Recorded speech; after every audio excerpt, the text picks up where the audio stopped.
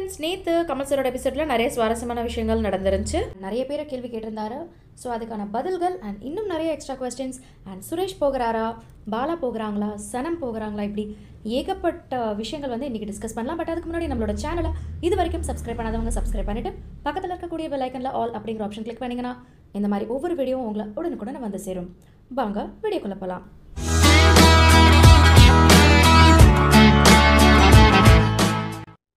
Foremost நேற்று Kamal சரோட birthday கண்டிப்பாக இது அவருக்கு ஒரு ரிமெம்பரபிள் ஒரு பர்த்டேவாக இருக்கும். ஏன்னா உள்ள ஹவுஸ்மேட்ஸ் எல்லாருமே சேர்ந்து அவருக்காக கேக் செஞ்சு அதை பர்சனலாக கொடுத்து விட்டுருந்தாங்க.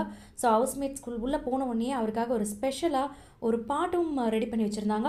அவரோட படங்கள்லேருந்து ஒரு மேஷப் மாதிரி நிறைய பாடல்கள் எடுத்து பாடினாங்க. அண்ட் சூப்பராக எக்ஸிக்யூட் பண்ணியிருந்தாங்க.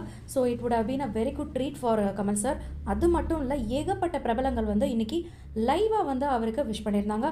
பட் கமல் சார் இன்னைக்கு கண் கலங்கிறது ஒருத்தருக்காக அதாவது மறைந்த பாடகர் எஸ்பிபி அவர்கள் இவரோட மிக நெருங்கிய நண்பர் முடிஞ்ச வரைக்கும் பெரும்பான்மையான பர்த்டேஸில் வந்து அவர் கூடவே இருப்பார் என் கூடவே.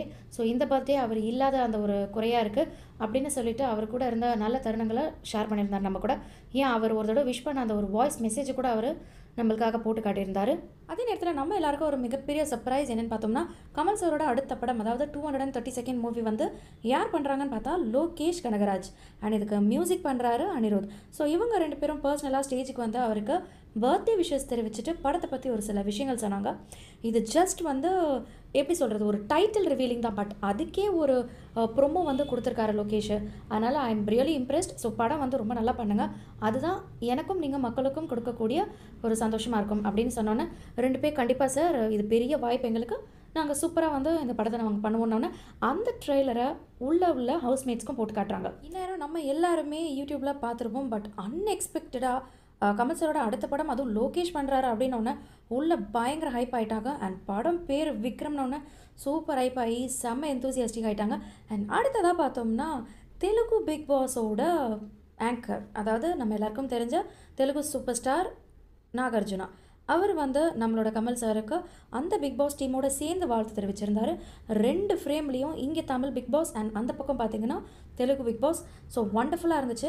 ஸோ நாகார்ஜுனா அங்கே உள்ள கண்டஸ்டன்ஸை இங்கே உள்ளவங்களுக்கு அறிமுகப்படுத்துறதும் கமல் சார் இங்கே உள்ள கண்டஸ்டன்ஸை அங்கே உள்ளவங்களுக்கு அறிமுகப்படுத்துறதும் it was very nice so ஒரு சவுத் இந்தியாவில் இருக்கக்கூடிய பிக் பாஸ் அப்படின்னு பார்த்தா இந்த ரெண்டு பிக் பாஸும் மிகப்பெரிய அளவில் ஃபேமஸ் அண்ட் அங்கே உள்ள எல்லாருமே வந்து கமல் சாரை பார்த்ததில் செம்ம எக்ஸைட் ஆகிட்டாங்க அது மட்டும் இல்லாமல் அங்கே உள்ள அந்த நாமினேஷன் ப்ராசஸ் போயிட்டுருக்கிற அந்த டைமில் ஒரு பர்டிகுலர் கண்டஸ்டண்ட்டை சேவ் பண்ணணும். அது உங்கள் வாயால் சேவ் பண்ணணும் அப்படின்னு அதை கமல் சார் பார்த்துட்டு சொன்னோன்னே அந்த பொண்ணு செம எக்ஸைட் ஆகிடுச்சு அடுத்ததாக கமல் சாரோட நிறைய ஃபேமிலி மெம்பர்ஸ் சுஹாஸ்னி மணிரத்னம் அனு ஹாசன் சாரு ஹாசன்.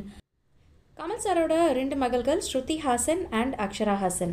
இவங்க ரெண்டு பேரும் அவங்களுக்கு விஷ் பண்ணியிருந்தாங்க. ஒவ்வொருத்தரும் நான் ஹைதராபாத்தில் ஷூட்டில் இருக்கேன் மும்பையில் ஷூட்டில் இருக்கேன். பட் இருந்தாலும் உங்களை விஷ் பண்ண வந்திருக்கேன்றப்போ நம்மளுக்கு பார்க்கும்போதே ரொம்ப ஆச்சரியமாக இருக்குது ஸோ எவ்வளோ கனெக்டடாக இருக்காங்க எவ்வளோ தூரமாக இருந்தாலும்னு. ஸோ இதெல்லாம் முடிஞ்சதுக்கப்புறமா உள்ளே என்ட்ரு ஆகிறாரு. ஸோ நம்ம அகம் டிவிக்குள்ளே போனதுக்கப்புறம் தான் பாலாஜியோட முகமே சுத்தமாக விளங்கவே இல்லை. ஸோ ஃபர்ஸ்ட் எடுத்தவொடனேயே சனம் அண்ட் பாலாஜிக்கு நடுவில் நடந்த அந்த பிரச்சனை பற்றி தான் கேட்டார். ஸோ தருதலை அப்படின்னு சொன்ன அந்த வார்த்தை எந்த அளவுக்கு இம்பேக்ட் ஆகிருக்கு நம்மளோட அவுட் சைட் சொசைட்டியில் அதை பற்றியும் பேசினார்.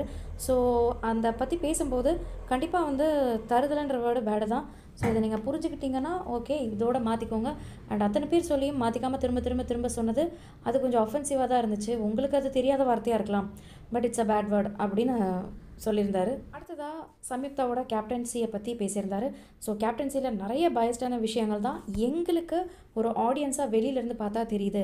ஸோ இதை பற்றி டீம்மேட்ஸ் என்ன நினைக்கிறீங்க அப்படின்னு கேட்டவுடனே ஆரியிலேருந்து எல்லாருமே வந்து சம்யுக்தா வந்து நல்ல கேப்டனாக இல்லை. ஸோ ரொம்ப பயஸ்டாக இருந்தாங்கன்னு அவங்க மூணு பேரோட முகம் அதாவது சம்யுக்தா பாலாஜி அண்ட் சிவானி இவங்க மூணு பேரும் அப்செட் ஆகிட்டாங்க அண்ட் அடுத்ததாக ரியோவும் எந்திரிச்சு பேசின விஷயம் இதுதான். ஸோ ஒரு இது நியாயமான ஒரு கேப்டனை நாங்கள் ஆக்சுவலி தேடிட்டு தான் இருக்கோம். அவங்கள சுத்தமாக காணோம் அப்படின்னு சொல்லியிருந்தாரு. அண்ட் சனம் வந்து இந்த ஒரு விஷயத்த இன்னைக்கு காலையில் கூட இவர் எடுத்து தருதலை தருதலன்ற சாங்கை தான்.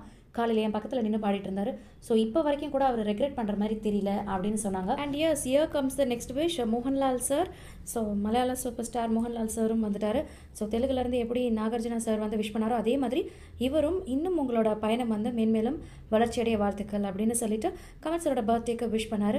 ஓகே ஸோ இது மட்டும் இல்லை ஃப்ரைடே எபிசோடில் என்ன நடந்துச்சு அப்படின்னு காட்டினதில் ஆரி வந்து ஒரு கேப்டனாக ஹவுஸ் கீப்பிங் டீம்லேயே நீங்கள் ஒழுங்காக வந்து வேலை செய்ய மாட்டேங்கிறீங்க அப்படின்னு சிவானியா துருவி துருவி கேள்வி கேட்டுட்டு இருக்காரு ஸோ கண்டிப்பாக இது ஏதோ ஒரு வகையில் பிரச்சனையாக போய் முடிய போகுதுன்றதை காட்டுறாங்க. அண்ட் அடுத்ததாக கேபிக்கு ஆதரவாக ரியோ வந்து பேசுகிறாரு ஸோ பிரச்சனை கேபி மேலே இல்லை சமிக்தா மேலே தான் தெரிஞ்சு ஏன் கேபியை கஷ்டப்படுத்துறீங்க? இத்தனை நாள் ஆயிடுச்சு அப்படின்னு ரெண்டு பேரும் ஃப்ரெண்ட்ஸ் ஆகிடுறாங்க ஸோ சுரேஷ் சக்கரவர்த்திக்கும் கேபிக்கும் நடுவில் இருந்த அந்த ஒரு பிரச்சனை வந்து சால்வ் ஆயிடுச்சு. ஓகே நம்மளோட வேலைக்கு வரலாமா? யார் யாரெல்லாம் நாமினேட் ஆயிருக்கீங்க அப்படின்னு அவர் கேட்க ஏழு பேர் எழுந்துருச்சுன்னாங்க ஸோ இன்றைக்கி என்னோட பர்த்டே ஸோ கண்டிப்பாக நான் இன்றைக்கி யாரையும் எலிமினேட் பண்ண விரும்பலைன்னா யாரும் இந்த தடவை எலிமினேஷன் இல்லைன்னு நினச்சிட்டாங்க. பட் ஆக்சுவலி எலிமினேஷனை இந்த சாட்டர்டேயில் நாளைக்கு ஒத்தி வைக்கிறேன் அப்படின்னாரு. இன்னைக்கு வந்திருக்கக்கூடிய ஃபர்ஸ்ட் ப்ரோமோ முழுக்க முழுக்க வந்து சுச்சியை வந்து எப்படி பயஸ்டாக இருந்தீங்க அப்படின்றத கமல் சார் ஃபுல்லாக எல்லாருக்கிட்டே கேட்டு கிண்டல் பண்ணுறாரு இதில் ஹைலைட்டே வந்து சுரேஷ் சக்கரவர்த்தி தான். ஜட்ஜை பற்றி ஏதோ பேச ஆரம்பித்தோன்னே யார் ஜட்ஜு அப்படின்னு கொளுத்தி போடுங்க நல்லா அப்படின்னு ரியோ சொல்ல எல்லாரும் சிரிக்க ஆரம்பிச்சிட்டாங்க. பட் சுச்சி செம கடுப்பாகி என்ன பேசுகிறாரு இவர்? அப்படின்ட்டாங்க. அண்ட் நிஷாவை பற்றி சுச்சி சொன்ன விஷயங்களை பற்றி கேட்கும்போது இல்லை சார் நீங்கள் சொன்ன விஷயத்த தான் நான் இங்கே வந்து சொல்லினேன் அப்படின்னொன்னே ஒன்று ஐயோ நான் அப்படியெல்லாம் ப்ரீஃபிங் கொடுக்கவே இல்லை.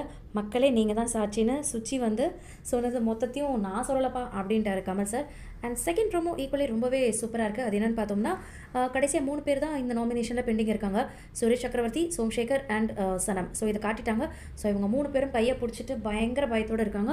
அண்ட் நம்மளுக்கு அன்அஃபிஷியலாக வந்திருக்கக்கூடிய விஷயம் என்னன்னு பார்த்தா சுரேஷ் சக்கரவர்த்தி வெளியில் போயிட்டாரு. அண்ட் பாலாஜிக்கு ரெட் கார்டு கொடுத்துருக்காங்க அப்படிங்கிற விஷயம் வந்திருக்கு. ஸோ இதில் எது உண்மை எது பொய் நம்மளுக்கு தெரியல. பட் நேற்று எபிசோட் முழுக்க முழுக்க முழுக்க பாலாஜியோட ஃபேஸே சரியில்லை. ஏதோ ஒரு வார்னிங் ஆர் சம்திங் அவருக்கு கொடுத்துருக்காங்க. ஒன்று அவர் வெளியே போகலாம். இல்லை அவர் ரொம்ப ஒரு வார்னிங் கொடுத்து உள்ளே இருக்கலாம். ஏதோ ஒரு வகையில் அவரை வந்து நீங்கள் பண்ண தப்புன்றத புரிய வச்சுருக்காங்கன்னு நினைக்கிறேன். நேற்று பிக் பாஸ் எபிசோட் பற்றியும் இன்றைக்கி வந்திருக்க கூட ப்ரொமோ பற்றியும் நம்ம பார்த்துட்டோம். ஸோ இன்றைக்கி பாலாஜி கிளம்புறாரா? இல்லைனா பாலாஜிக்கு ரெக்கார்ட் கொடுக்குறாங்களா?